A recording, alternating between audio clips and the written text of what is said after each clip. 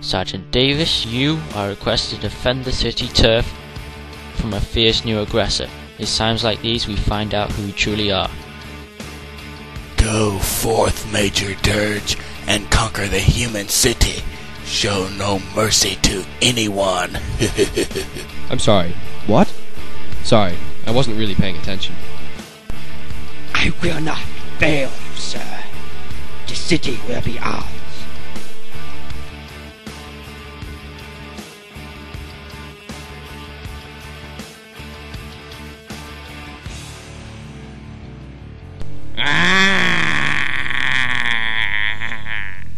Military genius, sir. Krill, carry out that order.